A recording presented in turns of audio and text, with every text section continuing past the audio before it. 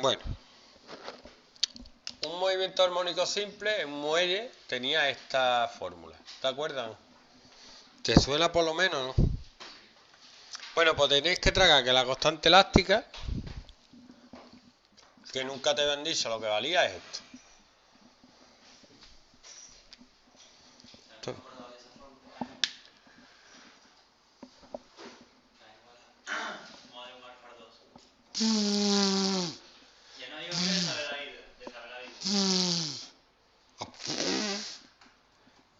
Para tienen que servir los juegos violentos. ¿Ves? Vale, para.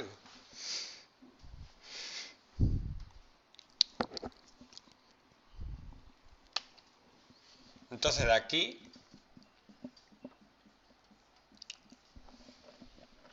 se pueden sacar W, que sería raíz de K partido M. Y con esto puedes despejar el periodo. ¿Vale? Que sería poner esto abajo y darle la vuelta. Aprenderse la fórmula, con un independiente lo calcule. Y la frecuencia es la inversa. Y luego está el péndulo, simple, cuando tiene un ángulo chiquitito, el periodo es 2pi por raíz de L partido G. Estas son fórmulas, ¿vale? Entonces, un par de problemillas para usarla. ¿Yo no, Israel? Yo no. Mira, ves, ahí te enteras de algo. Igual eres súper doto y no te has enterado. ¿Corro?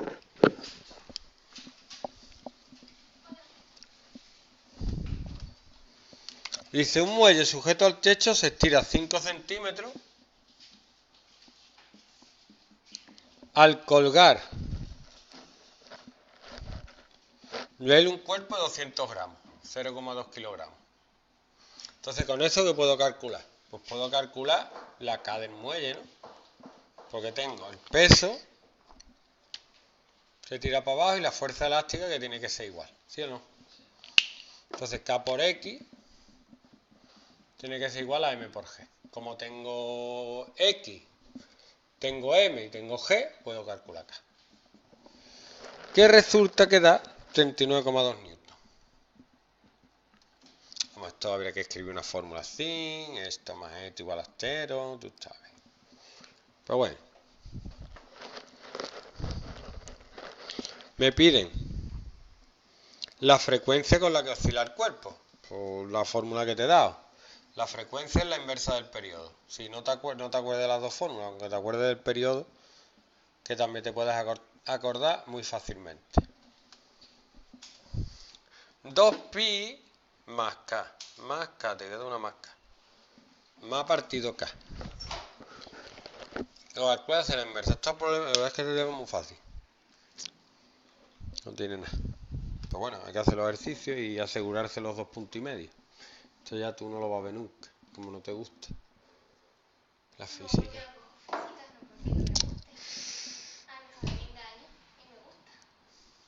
Te lo vas a perder. Con lo bonito que es. ¿Corro? Y el otro es un péndulo. Hice un cuerpo de 200 gramos oscila como un péndulo simple al suspenderlo verticalmente mediante una cuerda inextensible de 64 centímetros. Está en metros y...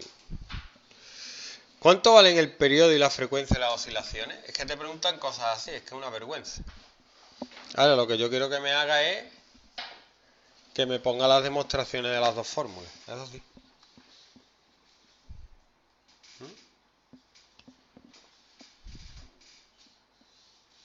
Bueno, aquí es muy importante. Ah, mira, te voy a decir dónde sale lo de... Que no te he dicho dónde sale, lo de K por X. Pone aquí, fuerza igual a masa por la aceleración. La aceleración era W cuadrado por X, ¿no? Pues si tiene que ser K por X, la K tiene que ser esto. Qué bueno. Y aquí pues sería, fíjate que uno sabe la longitud, ¿Sabe el periodo? A ver si da.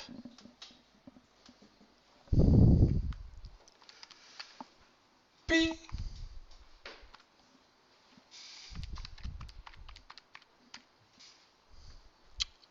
1,6 el periodo y la frecuencia es la inversa del periodo.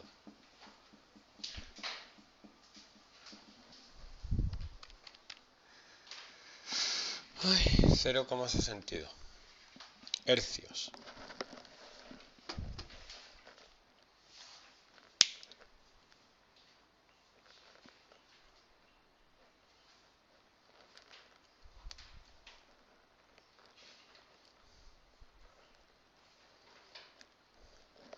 Pregunta de examen. Dice, ¿cuál es la máxima fuerza que actúa sobre el cuerpo si la amplitud de las oscilaciones es de 2 centímetros? Y aquí te pone, con toda la poca vergüenza,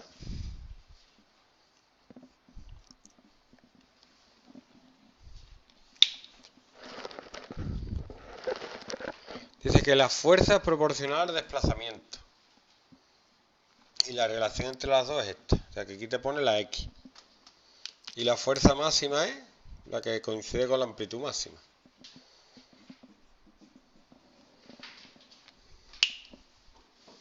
Y te dan la amplitud. ¿De dónde sale M por G partido L? ¿Mm? Pues de la demostración de la fórmula.